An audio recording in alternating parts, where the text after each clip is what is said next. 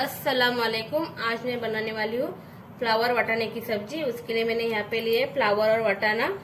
यहाँ पे लिए दो प्याज एक टमाटर आधा चम्मच हल्दी दो चम्मच लाल मसाला अदरक लहसुन हरी मिर्ची कोतमीर की पेस्ट ली है मैंने तीन चम्मच गरम मसाला आधा चम्मच जीरा जीरा थो, थोड़ी कोतमीर एक तेज पत्ता और थोड़ा कड़ी पत्ता स्वाद अनुसार नमक।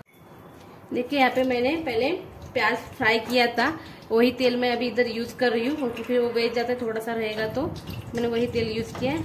अभी इसमें मैं डालूँगी जीरा बड़ी पत्ता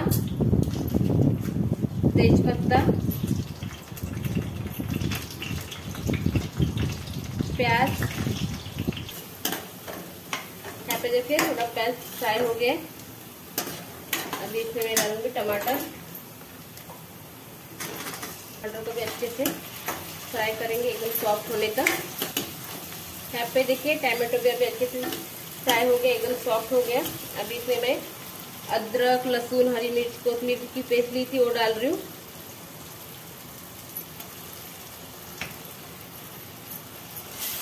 देखिए। देखिए, इसमें मसाला भी अच्छे से फ्राई हो गया अभी इसमें डालेंगे। हल्दी, मसाला। ये मेरे घर का मसाला है, इसको बनाती हुई मसाला घर पे, ये गरम मसाला। नमक। मिलाएँगे फ्राई करेंगे थोड़ा तेल छूटने तक। फिर उसमें डालेंगे फ्लावर और बटाना जो आपने अच्छे से मैंने धो लिया उसको। क्योंकि फ्लावर को बहुत अच्छे से देखना पड़ता है उसमें कीड़े वगैरह रहते हैं। तो अभी के फ्लावर अच्छा है सब्ज़ी। तो अभी कोई इसमें कुछ कीड़ा वगैरह नहीं आया, मिला। अच्छे से फ्राई हो गया है अभी, मसाला एकदम से। अभी इसमें डालेंगे। उसमें फ्लावर बटाना तो मैंने साफ़ धो के था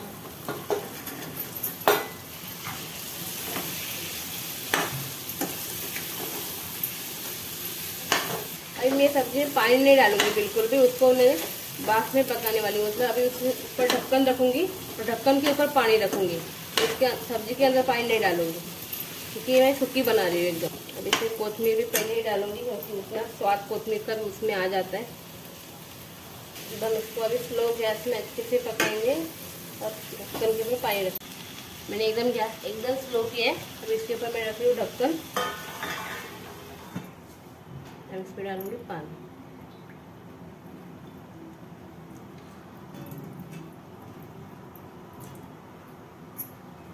मैं उसको 10 मिनट तक ऐसे ही पकने दूँगी। उसके बाद ढक्कन खोलूँगी। तभी आप ये देखिए, अभी मैं ढक्कन खोल रही हूँ। पानी भी गर्म हुआ है ढक्कन का। अभी देखते हैं कितना पानी मतलब कितना सब्ज़ी पकी है। देखिए, पानी भी छूटा है ना। ऐसे भी नहीं कि नीचे लग जाता है, देखिए।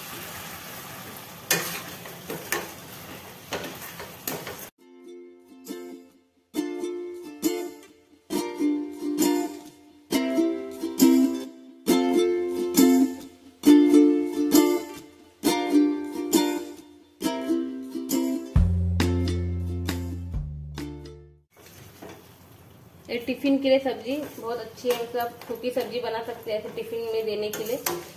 क्योंकि बच्चों के स्कूल जाते तभी भी टिफ़िन और जो काम पे जाते हैं, उनको टिफ़िन में देने के लिए सूखी सब्ज़ी। एकदम परफेक्ट डिश है ये सब्ज़ी की। आप भी ऐसे बना के देखिए। खाने में भी स्वाद आता है इस सब्ज़ी का। ठीक है, चलिए अभी सब्ज़ी बन गई। अभी अपन गैस बंद करते कोथमीर वगैरह सब पहले डाला था तो अभी कुछ डालने की ज़रूरत नहीं जिसको चाहिए और सजावट के लिए तो कोथमीर ऊपर से डालिए। पर कोथमीर जब भी, जब पकाते टाइम में डालेंगे तभी स्वाद और आता है। कोथमीर तो वो भी पकती है तो खुशबू और अच्छे से आता है। देखिए कितना मस्त थोड़ा तेल ज़्यादा डालना पड़ता है, बाकी कुछ नहीं। दो चम्मच की जगह तीन चम्मच, बस।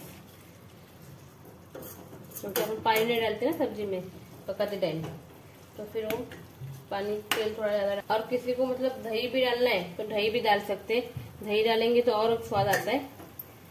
ये देखिए कितना मस्त तेल छूट रहा है, देखिए, अभी तक भी। तो ऐसे भी नहीं कि तेल कढ़ाई को लग रही, देखिए कहीं पे भी कहीं पे भी नहीं लगी, पानी नहीं डाले तो भी देखिए, एकदम सूखी सब्ज़ी है तो इधर लगी भी नहीं है, देखिए। आपको मैं साइड साइड करके भी दिखाती हूँ। पीस की ऐसी सब्ज़ी बनाइए।